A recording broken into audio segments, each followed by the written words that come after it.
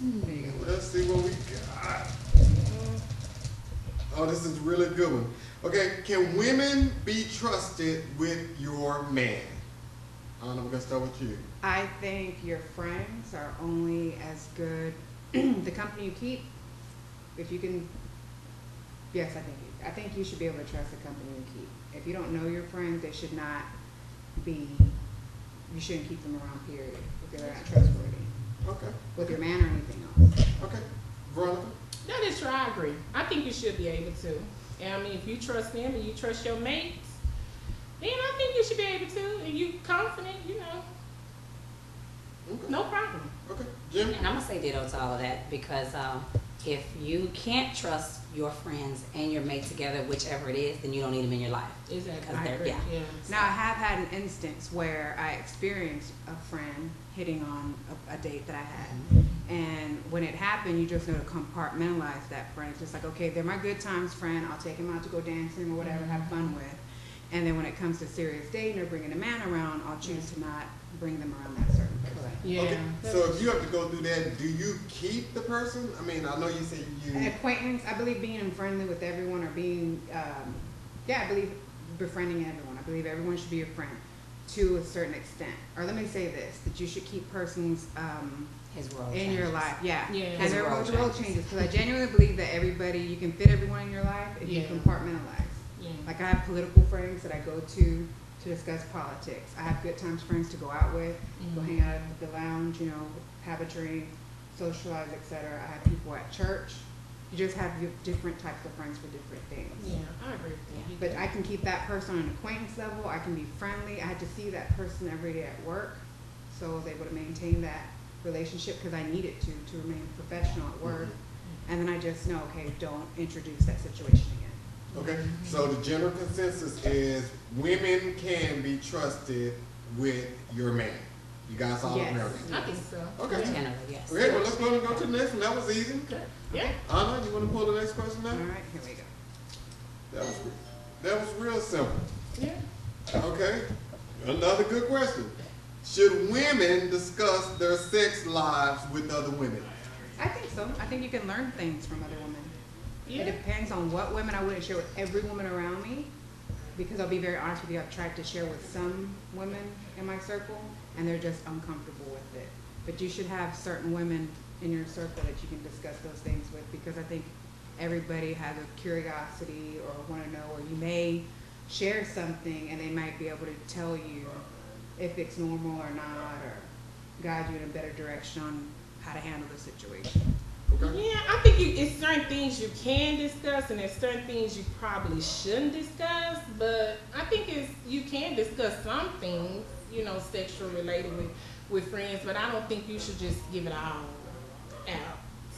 But some things can be discussed. I'm ready. Jimmie, Ready? I'm ready. yeah, yeah, come on. I'm ready to answer that one because my thing, the way I see it is, I don't feel there's ever an issue with discussing who you are and what you are sexually Yeah. because it's who you are. Yeah. You're who you are. You you're you're who you are, and I Mhm. am who I am. Right. My thing is, what we do is we look at our sexual appetites the wrong way. We are all given uh, mental gifts and other talents and things like that. And some people are just more sexually interested, more sexually uh, creative, more sexually active. However, what I feel uh, in regards to the question is, is that I can freely discuss anything that occurs with me sexually. I don't have to say who the person is. I don't have to say who the detail is. Because the thing is this: if it's what my sexual preference is, Right. it shouldn't offend you. Mm-hmm. Because what you do sexually is your business. Mm-hmm. Now, the insight that we get to share is you may be interested in something that I already do or know how to do, mm-hmm. and then and vice versa. That's So we correct. learn from each other exactly. Because the thing is, what you don't do, someone else will do. And my thing is this: is if it's you and your individual, if you, if it's you and your man or you and your woman, what you guys do with each other enhances your relationship. And so anything you bring into the relationship makes it more exciting and it brings it more it brings it new. So someone who's afraid to talk about things sexually needs to be exposed to someone who does some other things because you would be surprised Yeah. at what you see and what you hear because guess what? It just may be something that you want to do or that you're interested in doing, just didn't know the person to get the information from. So I don't think that there's ever boundaries. I feel like if you're in a circle of individuals and they judge you based on your sexuality, mm-hmm. that's a situation too where you got to evaluate your friendships Yeah. because we all bring something to the fold. So if I'm a little more freaky or a little more exciting or whatever in my sex life, don't judge me on that because Right. I'm doing what it takes to do to please me and whoever I'm with. Okay. And if Yeah. you're not at that level, then that's not an issue. But I should be free to share it, just like I should be able to, to, to you know, you should be able to share what you're uh, experiencing, you know, as well. So, So should you only share your talents and gifts in the bedroom, or is it okay to share what your man does or how he makes you feel? I think it just basically depends on the situation. Let's say we're, um, because you know I'm a part of a girls group, and I think what enhances when we talk about relationships with them is the fact that we do have individuals who have had uh, issues with experiencing certain things or trying new things or even being afraid to introduce new things. However, we know when it's a man, a man, if he, let's say, for instance, your guy comes to you with something that you've never experienced, mm-hmm. and then you put up that flag that, whoa, well, nine times out of ten, if you're my girlfriend and you're going to bring that up in a conversation, mm-hmm. my thing is, first of all, you should have never thought that it was a wrong thing to do because it's what your man wants to do. Because what if you bring something to him That he doesn't. that he's never done, mm-hmm. you're gonna want the same thing. And as mm-hmm. long as it's something that you guys are sharing, you guys are experiencing that together and you're enhancing your own life in the bedroom. And that's what it's about. It's about pleasing each other. Mm-hmm. And so if if you have to bring in a what he does, you know, if it helps someone or vice versa, then I say do it. But Only you- if it's if it's, you know, asked for or whatever. But are you planning a bait, going back to the question before? About Can you the trust your friend? When you go in and you tell him what your man does in the bedroom, that could make her curious Sure. To do, you know, She could be curious, but you know what? But she I trust my man. To try that on her man. Bingo. Yeah. Because I trust Yeah. my man. Yeah, leave my man out the equation. Well, the thing is- I done told you what he might be doing for me. Try it with yours. Right. Not, I'm not Right. telling you for you Right. to try it with mine. Right. I'm telling Right. you so you go home and try Right. it with yours Right. because it worked for me, so it just might work for you. Right. And I'm not having the conversation for the purpose of, you know, just to be telling you. Now, if you just asked me or whatever, this, another, whatever, because I mean, otherwise it's off, it's an off limit situation. However, if we're together as girls and we're talking about, you know, I can just talk about experience or maybe something just comes up. But don't be surprised if, if somebody brings up something and they say, "Oh, you did that?" Yes, on a regular. Don't get it, you know, don't get, don't be afraid by it. But trust me, just because a girl hears it and she, if she might feel that it's interesting with that question you were talking about with your guy, she may not be enough to keep up with what my guy wants. You understand what I'm saying? So as long as you're taking care of house, then you don't have to worry about the other person, period, point blank. But don't hold you back your experiences because it just may help somebody else. And I think nine Yeah. times out of ten, it does help Yeah. someone because I can say, as a Latina, as a Catholic, when, young, when I was younger, I had a girlfriend that I could talk to about Mhm. sex, and I would wonder or have certain questions, and it felt very relieving to be able to have a, a K, you know, that friendship to come to Exactly. to say, hey, I've been having this curiosity or wonder about this, and she'd be like, oh, girl, you got this, and this is how you do it. And. Correct, Mhm. correct. And so it helps you out if you don't feel like you can go to your mom, because I don't have my, I can't go to my mom with those type of questions. Because of her religious because, background. Because of her religious background. She's Yeah. a typical Catholic, good Mexican mom. Yeah. And I would never discuss Disrespect. dating, Yeah. intimacy, Yeah. etc. with her because that's just not a venue, that's not a door we open. Yeah. And I don't think it even has to do with Catholics. I mean, I just think that old school There is was- just yeah, certain things that we didn't talk about. gap. Yeah. Mhm. And the thing is, you got to still go back and look at it. You know, when there's a breakdown in the bedroom, in, in, in the home, then you've got to, you know, seek all avenues, you know, to keep it if, if it's what you want. So, you And going to your girlfriends, you should be able to go to them and talk about stuff like But then that. again, you have to they know how which you are. girlfriend. And then you, Yeah, you, you you know nine times out of ten which girlfriend. Yeah, you know who to talk to Correct. and who not to about certain things. So, um, are women talking about sex openly just as much as men are? Yes. Mm. Okay, because some women Yes. still feel uncomfortable with talking about mm. sex, and they think it's just a man's thing to talk about sex. Those are it those. those on your maturity level too. I and mean, some of those are the households you're having sex issues in. Yeah. Okay. Because Yeah, if you're afraid to talk about it, you then you're afraid to talk about it it, with your mate. Exactly. Exactly. Or, or they may do be it. embarrassed with their body or just another whatever.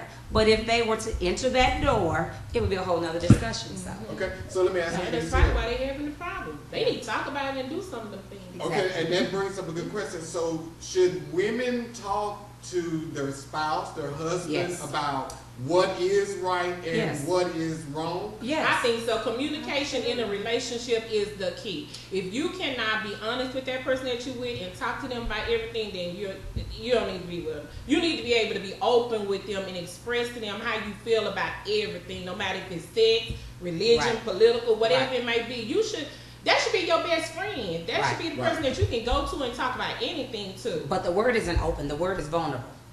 When you're with the one that you love, that you're building a relationship with, you're supposed to be vulnerable with them. That means you should be able to be comfortable being embarrassed by them, Mhm. you know, embarrassed with them, crying with them, everything, the whole nine. That's the only person that you can be that vulnerable with. But Exactly. now, in honesty, vulnerability comes to some people. It comes off as weakness. So when it comes to relationship, because No. we're just talking open, there should be no weakness. No, you know, just be open and honest. Bad communication, That's- bad communication is a weakness. Okay. Because with any man in a relationship, let's say, well, I don't want to talk about positions or anything like that, but let's say that man's wanting something. If it becomes a problem, he's going to eventually say something to you. Or you're either going to have sex less, or he's going to start to change his routine, this, another, whatever. But either way it goes, he is letting you know there's something he didn't like, something that you're not doing right, something he wants, there's something wrong. And so you got to be able to, to do the same. And so that's why, like you said, communication has got to be key. It's got to be open. Yeah. I mean, even if it means if it means. I want my my pinky toe sucked more. You know what I'm saying? You got to I say gotta specific. Tell you, You you, gotta- ain't sucking it right. You There need you to suck go. that pinky Exactly. next time. Because it's just like with the laundry. it's just like with laundry and cooking and everything else. If he doesn't like salt, he's gonna say I don't like salt. If he likes his mm-hmm. toast barely brown, no rim, he's gonna say that. That's Okay, how but you go let's be together. real about this here, because y'all saying be open and honest about Yeah. this. Normally, when a dude comes to a woman, or like a woman goes to a guy, and she's telling him, "Hey, you're not doing this," or "I would Mm-hmm. like for you to do this here," they internalize it and make it personal, and then they feel like, "Oh, I can't please him," or "I." That's when you, That is as true. usual, that's when you have to baby a man. It depends on your approach. You know, you know what I mean? Okay. You have to, it's the way anybody. I think anybody, anybody, any, anybody with this at this table. It depends on how you can take any, you can internalize any message depending on mm-hmm. how it's con- Delivered. how it's delivered, yeah, Yeah. how you You know bring what I it mean? And you know. I've lived that. I mean, I've, I've, I'm married and divorced because of that. I, I, I wasted 12 years in a situation where I babied a situation. Mm-hmm. And you've just got to come to the point where, I mean, because I thought communication was great. But I was in that situation where the man was having the issue taking the fact that he was not doing what he was supposed to do. So at that point, it had to be look, this this isn't working because I'm asking for X, Y, Z, and you're not giving it, but you want me to give you what you want to receive. And Yeah, so, it gotta be. there you go. reciprocated, There you go. Yeah. There you go. And the thing is, it didn't start out that way, Mm-hmm. but then that's a breakdown in communication. So that's a situation that can't be together because then it can't be one sided. It can't be. It can't be one-sided. Both parties got to be able to, to give. I mean, one can't just do it all, and the other one like, well, no, you just please me, do what I. No, you got to, and it ain't 50-50, it's a hundred hundred. Exactly. Both people got to give their all in it Exactly. and try to make each other happy because it is somebody that you trying to learn to get used to. You living with them. I'll be married in July, twenty years. Oh wow. It has took 20, I mean, we had a good point, but in the beginning, yeah, it was rocky. It just takes time and maturity. Correct. You will mature. And yes, if in the beginning I didn't talk, I closed up when I got mad at certain stuff. But I have learned now, don't do that because you won't get nothing solved. You have to be open and say what you feel. You have to communicate. Okay. You cannot just close up and not say nothing. If you don't like something or you want something or if he doing something wrong or she doing something wrong, you gotta tell him. Yeah, you gotta tell 'em. So we let's let's go ahead and close this up. Ana, final words. Should women um, discuss sex? Absolutely. Veronica? I think so. Yeah? Absolutely. Okay, Everything. well let's go ahead and move on to the next one. There you go. Everything. Y'all should keep on talking about it. but if you got a girlfriend you can't trust, don't Right. go. Oh, yeah. Yeah, certain ones. She's a hater. Yeah, for real. These questions are coming together great. So tell me, why can't women talk? What is the problem? I mean, a lot of women say that they can't talk to other women because they're either catty, they can't be trusted. Why? What has happened uh, down the line that makes some women feel that they can't talk to other women? I couldn't tell. Because they've been hurt by somebody that they have confided in and told them everything, and they have went ran and told everybody Right. it's done got back to you, but it's done got back to you the wrong way. Because you know, if I tell Jimmie something, by the time Jimmie deliver it to you, it's gonna be totally different the way I told. him. By the time you deliver it to Ana, it's gonna be totally different. So by the time it get back to me, it's gonna be messy and ugly. So I think people have women have just been hurt because they confide in somebody and that person just by the time so a lot of people you have to know who to talk to and who not to talk to too. And I think that's what my issue is.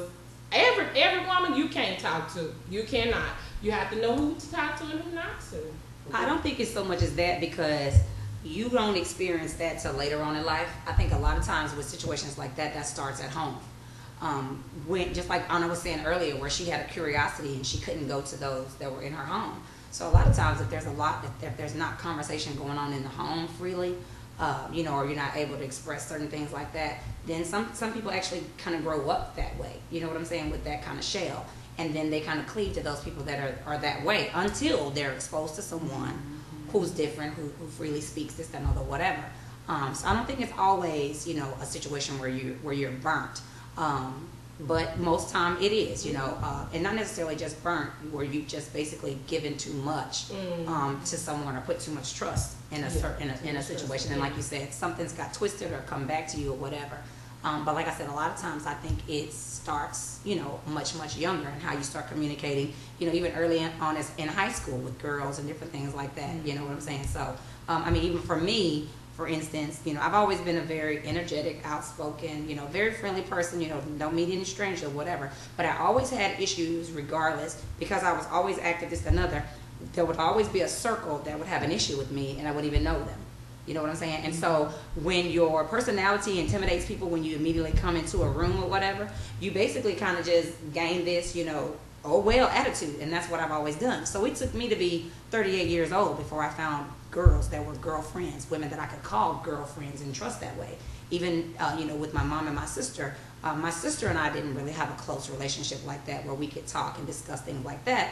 But I grew up watching aunts and my mom them and different things like that and so on and so forth. But I was well, you know, like I said, you know, 38 years old before I found someone who was truly a girlfriend that I could consider a girlfriend that I could talk to about things uh, and, and vice versa, you know, or if she pissed me off, I could call and tell her you pissed me off and, you know, this, that, and other, whatever, backwards and forth. But I didn't really find true girlfriends until I was 38 years old. But I think that was because of the experiences that I had, you know, and not really having a lot of girlfriends, you know, growing up. So. Okay, so would you say, just listening to both Veronica and Jimmie and you, Ana, I know you said you really don't have, I mean, when we first initially, you didn't have really much to say about that. So do you think women are carrying baggage from relationship to relationship, so that's where this whole thing came from, women can't trust women? I mean, you're be. blaming all women for something that one woman done to you. Could So be. it's pretty, Could be. it's Could pretty be, much could be,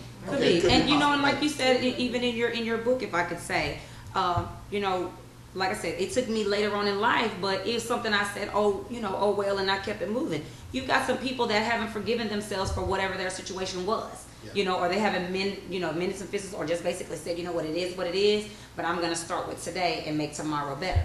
And so you've got some people that are that are locked up in some old baggage.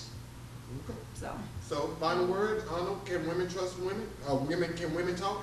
yeah, Yes. Okay. Ron? I think they can. Yeah. Yeah. Okay, Jimmie? I What do you think I, so? yes. Yeah. Okay, so let's go ahead and go to the next one, real good. Real good. Y'all knocking these out. Okay, real good. Does social media play a part in the divorce ep- epidemic? And we're gonna start with Jimmie, since you've been married and you, I'm not going to say that it necessarily plays a part um, because if you didn't have social media, since we're talking about divorce, we're talking about reasons couples split up. Um, we can't just say that. Um, you know, my ex-husband and I actually met in the office. We were really good friends. Um, I mean, really good friends, just friends originally. And so we met in the office. So, um, you know, I don't think social media has an issue to do with it because if a person is ready uh, to be on the out, they're ready to be on the out. So it doesn't matter if it's a strip club, if it's pornography, if it's someone at church, you know, whatever. If they're on the way out, they're on the way out, period, point blank. So, uh, you know, to say that social media, whether they're uh, playing uh, phone sex, got partners over the, you know, online, just another whatever, it, it, that person's mind is already is already made up. That's just another avenue, just like every any and everything else. Because if that's the case, then you can talk about their cell phone.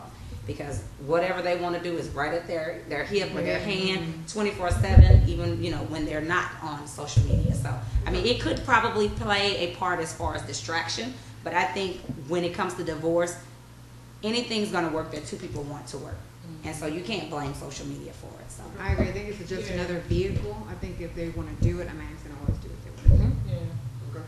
Yeah, I, I don't think it is. It's something else that's, and social media is just, you know, minute. I don't think, it has to be something else major in there to make them want to get a divorce and not to be together. I don't think social media would. Now, I think some people go too far as posting too much, too many things about their relationship on social media, and that could probably play a big part with, well, you said this, I read this, and now, you might need to pull back on some of those things that you might say, but I don't think social media is the reason why you're getting a divorce. Yeah, and you still can't say that because just like you're posting online, you're texting. You could be texting the same thing. You could be talking to people about the same thing, this, another, whatever. If you're wanting to be together, it's gonna be love that that is Yeah, what you what what you you be, exactly. That's what you're gonna that's gonna use to rekindle you. You know what I'm Mhm. saying, or get counseling or whatever.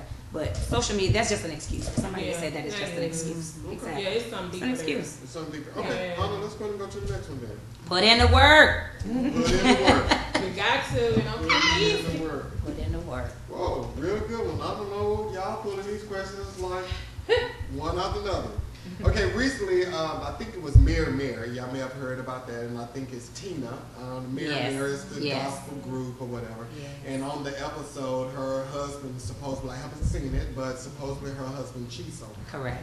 And uh, she recently did an interview. There is an article out there, and in her interview, she pretty much, kind of like in a way, accept responsibility for him cheating on her. Is let me get this because let me make sure I'm reading this question right.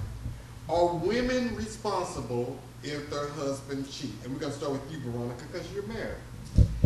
Um, I'm gonna say no, because for the simple reason, um, you piggybacking off of that with that Mary Mary situation. I did read articles where she said that she was she took full responsibility for him cheating, and I don't think she should take full responsibility. It might be some things that she did in the relationship to make him be like, oh, you get on my nerves, da da da. But for him to go out and cheat and go out there and sleep around with somebody else, no, it's, it's I don't think that's the woman response. I don't think you should take full responsibility for that. That's just him pleasuring himself. He did that for just selfish own game. That had nothing to do with her. Because if it's that bad where you have to go out and sleep with somebody, you I mean, why can't you just talk to that person and just tell that person, hey, you're doing this, you're doing that. I mean, I'm unhappy with this, I'm unhappy with that. If y'all can't work it out, well then yeah, y'all go y'all separate ways or whatever. But for him to go out there and sleep around on her, no. I don't think she should take responsibility for him sleeping around on her. Okay, so No. any woman. No. Yeah, anyone. No, anyone. No, because he just satisfied his own self. He not he, he trying to make her think it was his fault. It was her fault. The reason why he went out and did that, but no, she don't need to take responsibility and say no. I was the reason why he went out there and slept around. No, that's not your fault. Okay, Jimmie. In the situation where you just said that, you said when you said any woman, you could think of a situation where maybe if the lady slept around, then the guy felt like he had a right to. I still don't think so. I feel like this: once a cheater, always a cheater. If you're gonna be one to cheat, it's in your spirit to cheat. Period. Point blank. Because anything that you want, anything that's worth working for, you're going to work for it. You are. And so, like you said, if there was an issue and a problem, this another, I, what I have, a, what I have an issue with with that, with the husband situation is, is that surely he wasn't using the fact that she's traveling and on the road as an excuse. Okay. Because you- she been doing that. Right, and you Yeah. too are a gospel artist, and Mhm. you guys have a family. You have lots of children, Mm-hmm. so there's nothing stopping you from getting on a plane and jetting to where your wife is, and vice Mm-hmm. versa. You do what you got to do to make it work. Period. Point blank. It's all business expense anyway. Exactly. So I feel like once you're a cheater, you're always a cheater, regardless. And if there's something not going on at the house, like I said, that's the time for communication. Yeah. But if you step outside of the marriage, you stepped out because you wanted to truly step out and you t- truly wanted to disrespect the situation. You did. Period. Point blank.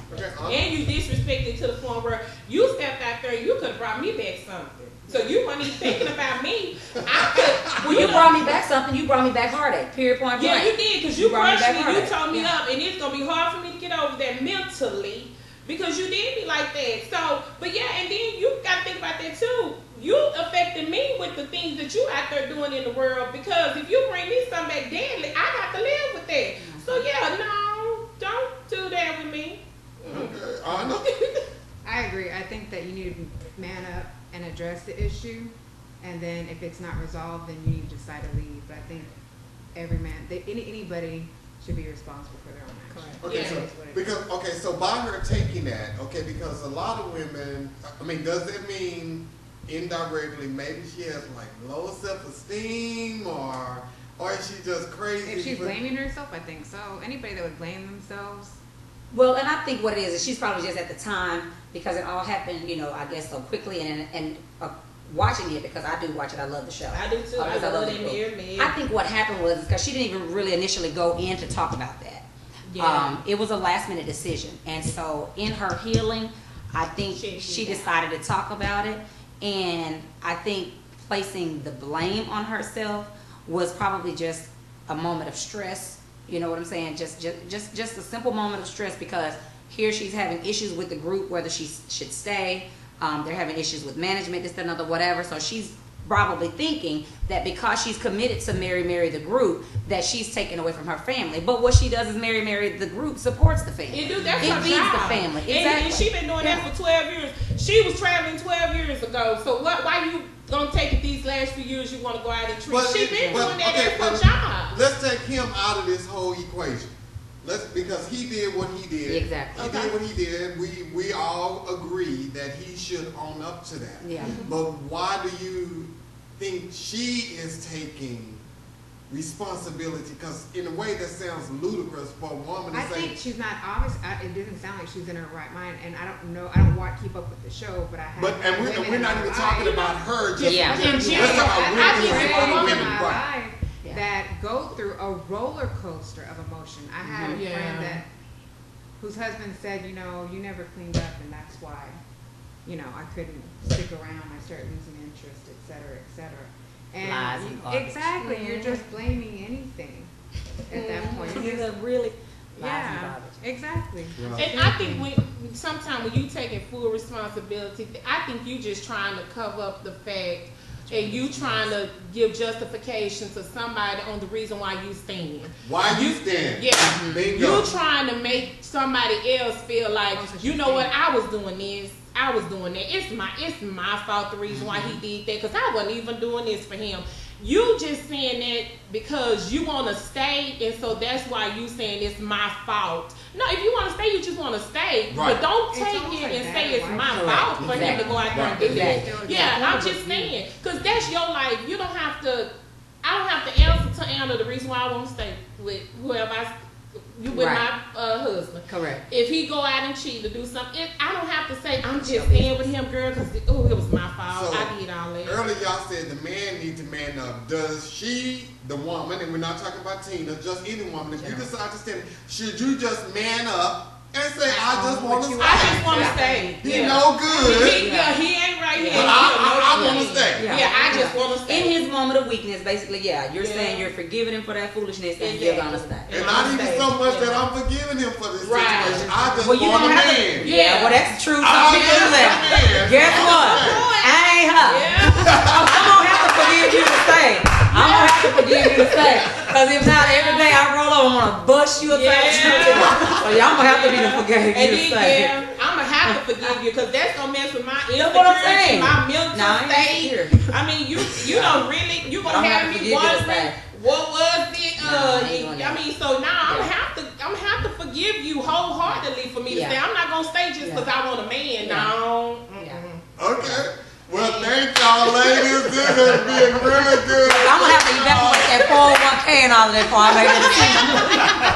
Is it cheaper to keep them? right. Yeah, them just might be. You know, them two incomes is better than that one. So. Well, thank y'all for coming to the Truth Bowl. That is a wrap. Thank y'all very much. That was good. What y'all think? That was great. Questions were awesome.